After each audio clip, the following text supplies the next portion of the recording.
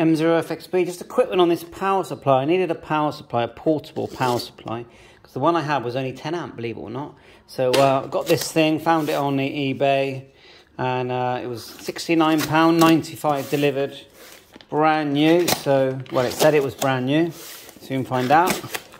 We'll get it open, and then we'll show you what it is. It's a switching power supply, 13.8 volts, 30 which is, you need that really for ham radio stuff.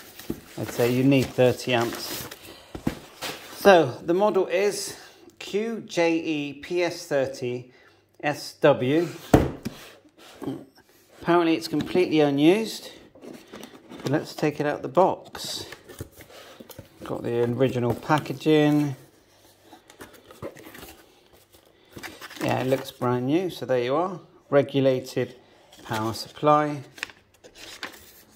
Basic thing. Power cable, a UK power cable, that's what we need. With a, a UK plug, like so. And let's have a look at the unit. I didn't want anything too big, but not too small either. So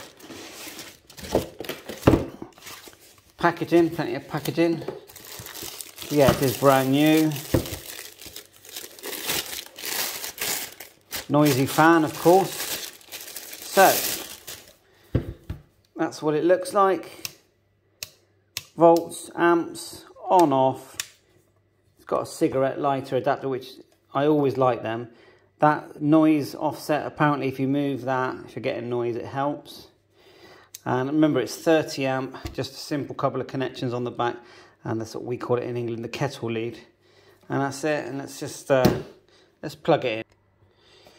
Okay, come from the back. Kettle lead into there.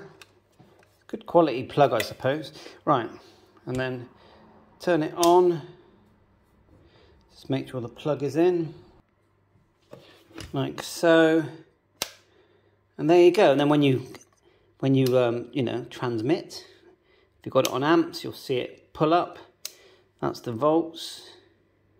13.8 is what it should be at. Can't see an adjustment for volts. You think there'll be an adjustment for volts. But hey, it's only a budget power supply. And that's it. The idea is that if I do transmit, you know, 30, 40 watts, the radio's not going to turn off, which is what the problem was with my, with my other portable one. So 7.3, thanks for watching. Bye for now, all the best.